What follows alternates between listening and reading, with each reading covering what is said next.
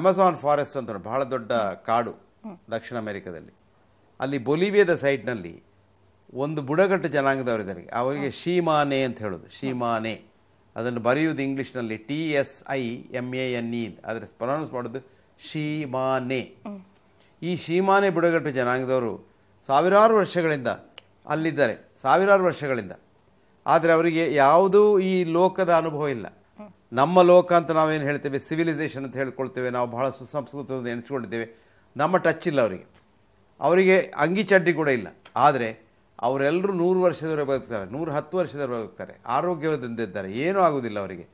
ಮುಪ್ಪು, ಮತ್ತು ಏನಾದರೂ ಹಾವು ಕಚ್ಚೋ ಅಥವಾ ಹುಲಿ ತಿಂದ ಸಾಯೋದು ವಿನಃ ಕಾಯಿಲೆಯಿಂದ ಯಾರೂ ಸಾಯುವುದಿಲ್ಲ.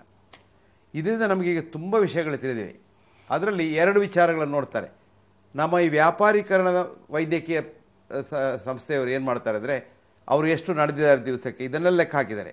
ಅವರು ಎಷ್ಟು ಕೆಲಸ ಮಾಡಿದ್ದಾರೆ ಅವರೇನು ತಿಂದಿದ್ದಾರೆ, ಅವ್ರು ಹೇಗೆ ಎಷ್ಟು ಮಲಗಿದ್ದಾರೆ ಇದನ್ನು ಲೆಕ್ಕ ಹಾಕ್ತಾರೆ.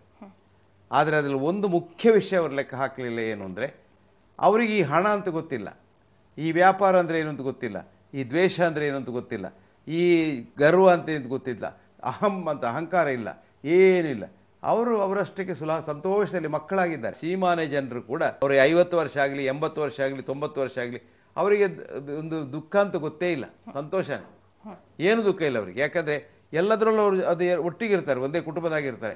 ನಂದು ನಿಂದು ಅಂತಿಲ್ಲ ನಮ್ಮದು ಹಾಗೆ ಸಾವಿರದ ಒಂಬೈನೂರ ಎಂಬತ್ತ ಏಳರಲ್ಲಿ ಇನ್ನೊಂದು ಬುಡಗಟ್ಟು ಜನಾಂಗದವರು ಅವರಿಗೆ ಇನ್ನೂಸ್ ಅಂತ ಹೇಳೋದು ಅವರು ಸಸ್ಕಚುವನ್ನಲ್ಲಿ ಕ್ಯಾನಡಾದಲ್ಲಿ.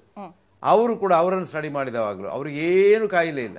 ಕಾಯಿಲೆ ಇಲ್ಲದವಾಗ ಅವರ ಹತ್ರ ಹಣ ಇರಲಿಲ್ಲ ಅವರಿಗೆ ಈ ಮಾನಿಟರಿ ಇಕಾನಮಿ ಗೊತ್ತಿರಲಿಲ್ಲ ಹೇಟ್ರೆಡ್ ಇರಲಿಲ್ಲ ಈಗ ಎಲ್ಲ ಬಂದಿದೆ. ನಮಗಿರುವುದೆಲ್ಲ ಅವರಿಗುಂಟು.